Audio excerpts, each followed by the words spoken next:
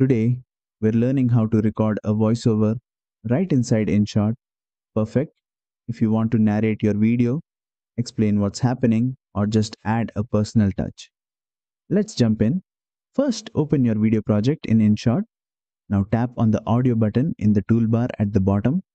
From here, choose the record option. This opens up the voice recording screen. You'll see a big red record button in the center. Tap it and InShot will give you a 3 second countdown before it starts recording. This gives you a moment to prepare. Once the recording starts, just speak clearly into your mic. InShot will capture everything in real time. If you prefer to record instantly without the countdown, you can turn it off using the small toggle near the record button.